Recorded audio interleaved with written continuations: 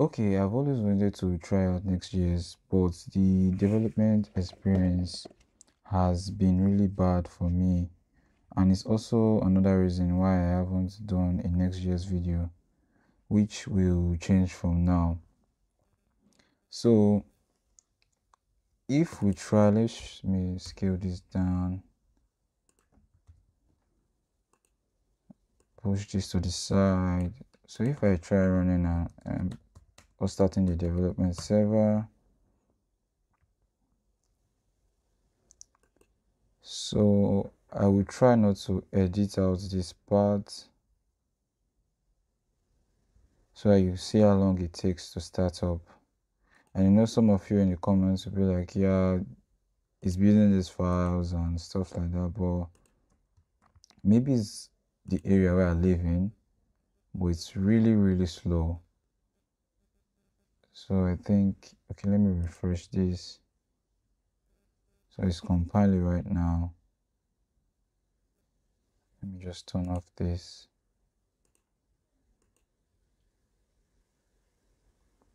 Still compiling.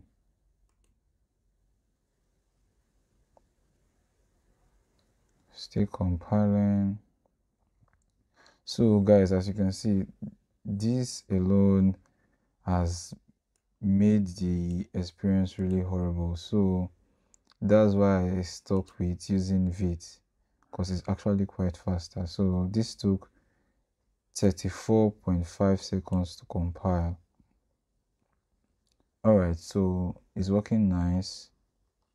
And in case if you're wondering i just have um a next app which just some basic style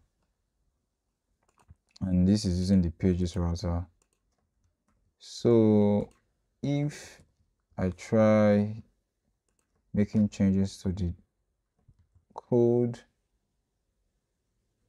as you can see it takes 3.2 seconds.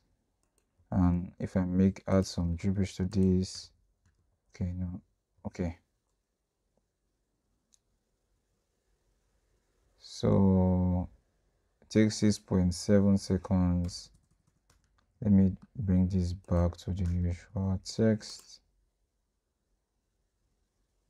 So it just takes a couple of seconds to do which is really annoying. Even if i want to try styling so if i say class name and let's say text should be orange for instance so just bring in a text of orange 500 you can see that it takes time yeah before this comes up. So there's a fix for it which i saw on the Next.js docs. So it's called Turbopack uh, as you can see say Turbopack is still in beta but you can use it in development and it works really really fine and fast. So it's an incremental bundler optimized for javascript and typescript written in rust and we all know that rust is very very fast and built into next.js so the way it's being used is very very simple so as you can see set Turbopack can be used in next.js in both the pages and app directories for faster local development. So to enable Turbopack, what we just need to do is scale this back down. First of all, let's just close our dev environment, then go to our package JSON file and just add dash dash turbo. I also leave the link to this in the description if you want to go through it but you can't add it to the build because it's not supported yet so if we save this and run our dev server again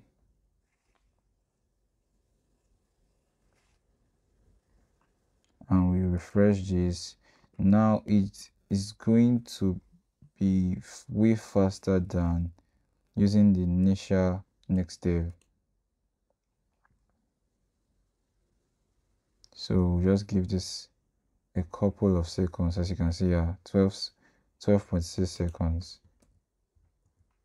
So if i make change to this just watch how blazingly fast it appears right here so if i say about us it takes less than a second in terms of styling too. So if i say this should be black or let me use another color and say indigo as soon as i save you see the color shows in. So that's it guys. So i think moving forward i will be using this for my next js project and hopefully you learned um, something from this.